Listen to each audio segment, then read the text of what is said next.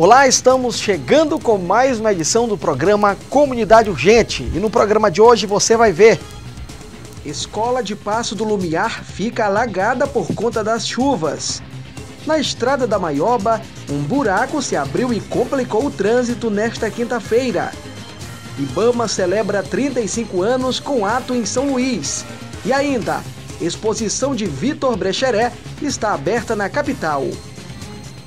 Eu sou Wellington Oliveira e o Comunidade Urgente já está no ar.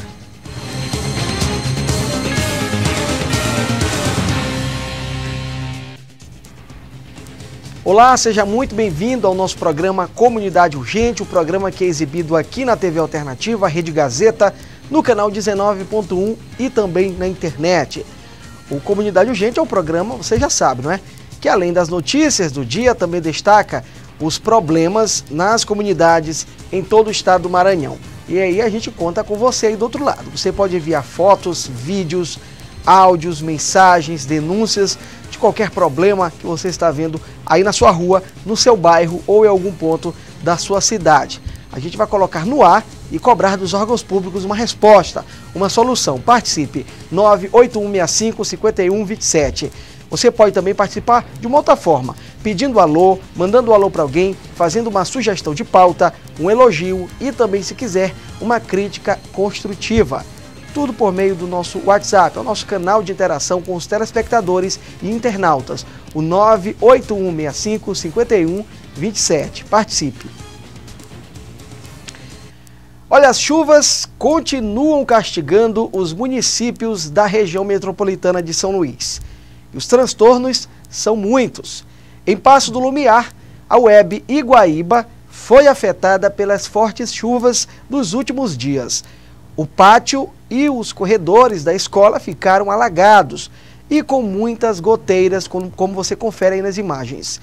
Olha, as mães de alunos reclamam que os problemas são constantes no local.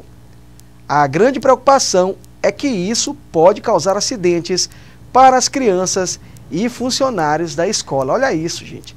Parecendo uma cachoeira ali, a água caindo pela parede, alagando os corredores, o pátio da escola. Cena lamentável, cena vergonhosa na educação de Passo do Lumiar.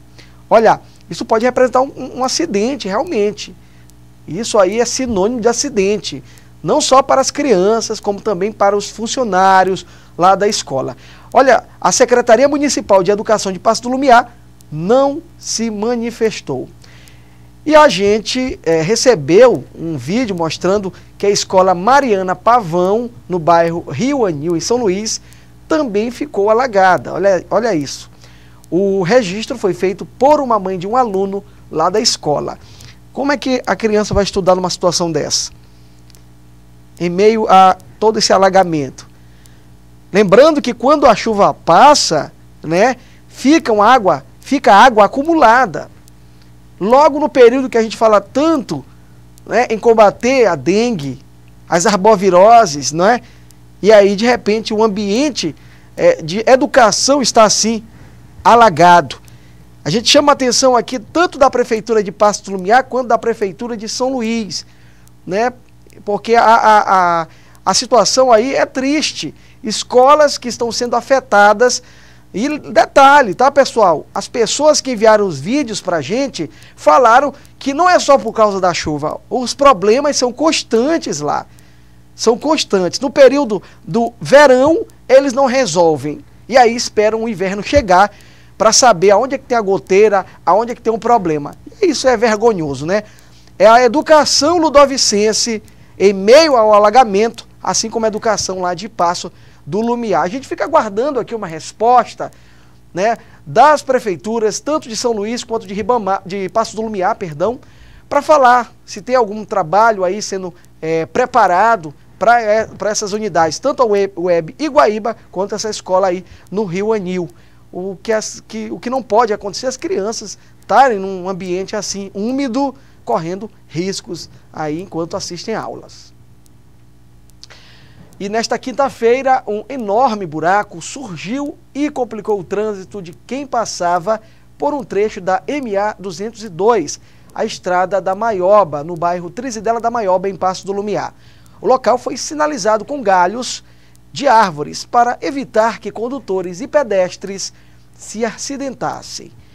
Olha isso, o um buraco né, enorme ali, população passando em meio a essa cratera, gente, que risco, né? Aí é de competência da Cinfra, governo do estado, olha só.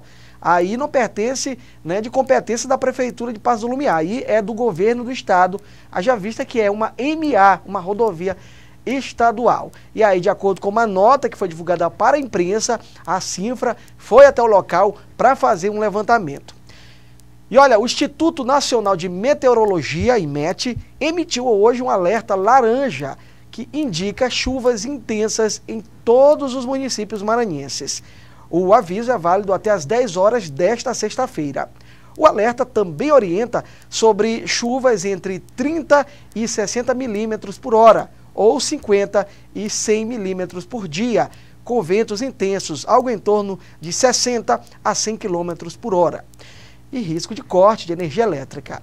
Além disso, pode haver queda de galhos de árvores, alagamentos e descargas elétricas. Então é preciso tomar todos os cuidados. Olha, nós vamos agora para um intervalo rápido. No próximo bloco você vai ver Ministério Público do Maranhão entrega unidades móveis para atendimento da população. E ainda, Ibama celebra 35 anos com ato em São Luís. Já já.